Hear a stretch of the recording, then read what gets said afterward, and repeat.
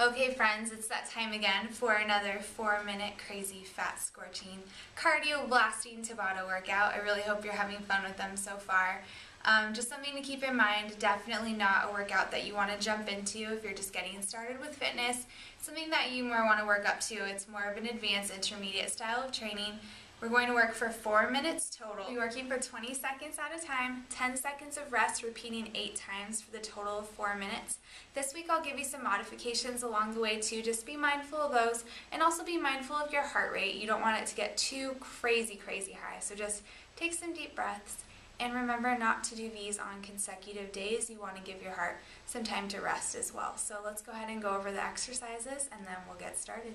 First thing we're going to do is a touch the floor single leg jump. So you're just going to come back, step back with your right foot, touch the floor with your right hand.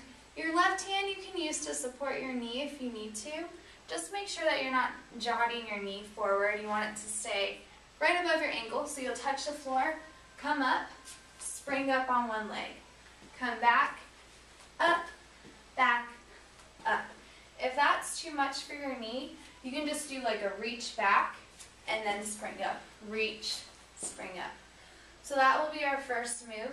Second move, we'll do it on the left side. So you go to switch, come up, switch, come up. Next, we're going to do something from the summer shape up. So hopefully this is familiar to some of you. It's a jump squat, and you're going to shuffle back. And jump forward. Super cool.